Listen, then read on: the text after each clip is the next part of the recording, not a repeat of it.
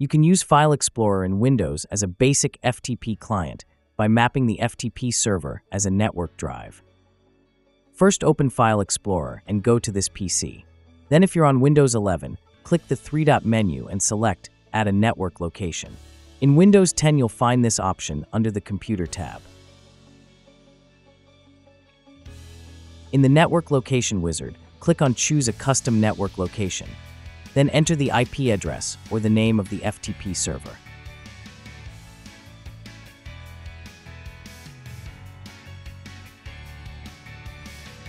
If the server requires authentication, uncheck the Log on Anonymously option and enter the username you use to connect to the FTP server.